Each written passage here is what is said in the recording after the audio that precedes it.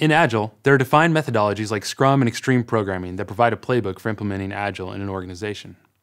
In DevOps, there aren't as many that are well established, but some common methodologies have emerged. In this section, we're covering the five most prevalent DevOps methodologies. One of the first methodologies was coined by Alex Honor and is called People over Process over Tools.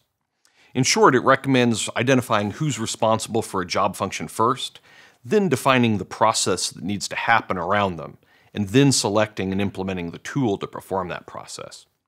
It seems somewhat obvious, but engineers, and sometimes overzealous tech managers under the salesperson are usually awfully tempted to do the reverse and buy a tool first and go back up the chain from there. That's right. And you know, the second methodology is continuous delivery. It's such a common methodology that some people even wrongly equate it with DevOps. In short, it's the practice of coding, testing, and releasing software frequently in really small batches so that you can improve the overall quality and velocity. It's been shown in studies that in CD environments, the team spends 22% less time on unplanned work and rework. Changes have a three times lower failure rate, and the team recovers 24 times faster from failures. And it works for all kinds of workloads, even legacy environments. Gary Gruver even used it to revolutionize the LaserJet firmware department at HP. Third up is lean management. It consists of using small batches of work, work in progress limits, feedback loops, and visualization.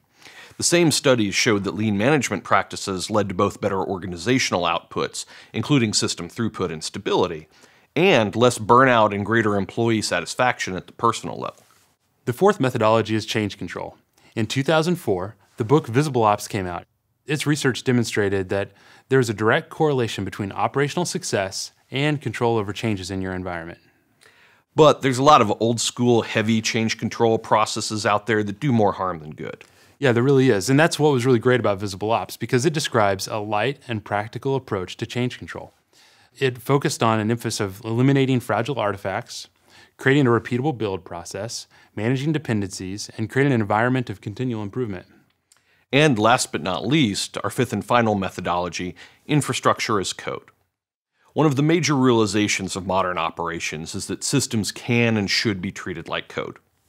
System specifications should be checked into source control, go through a code review, whether a build and automated test, and then we can automatically create real systems from the spec and manage them programmatically.